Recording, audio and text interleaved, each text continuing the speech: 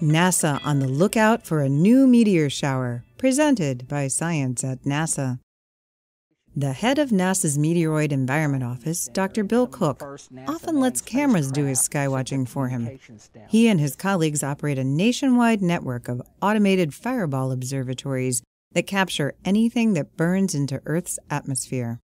On the morning of May 24th, however, he plans to go out in person. There could be a new meteor shower, and I want to see it with my own eyes, says Cook.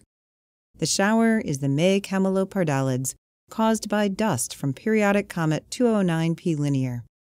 No one has ever seen them before, but this year the May camelopardalids could put on a display that rivals the well known Perseids of August. Some forecasters have predicted more than 200 meteors per hour, says Cook.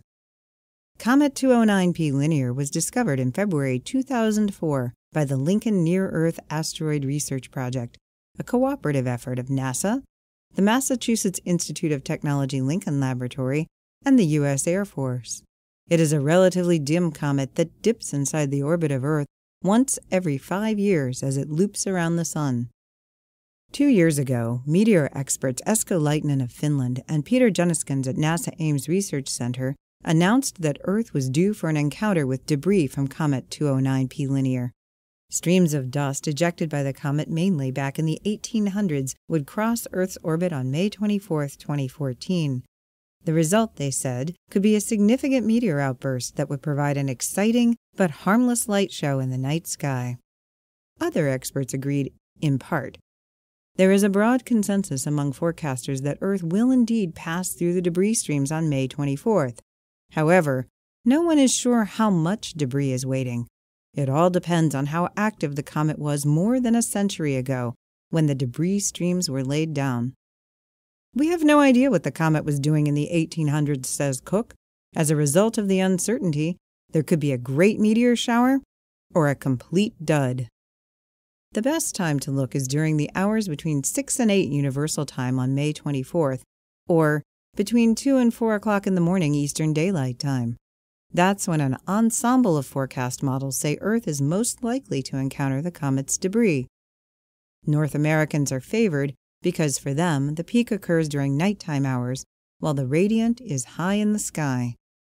We expect these meteors to radiate from a point in Camelopardalis, also known as the Giraffe, a faint constellation near the North Star, he continues. It will be up all night long for anyone who wishes to watch throughout the night. Indeed, that might be a good idea. Because this is a new meteor shower, surprises are possible.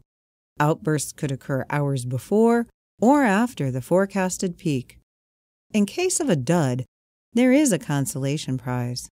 On May 24th, the crescent moon and Venus are converging for a tight conjunction the next morning on May 25th. Look for them rising together just ahead of the sun in the eastern sky at dawn. That's a nice way to start the day, says Cook, meteors or not. For more news about surprising events in the night sky, stay tuned to science.nasa.gov.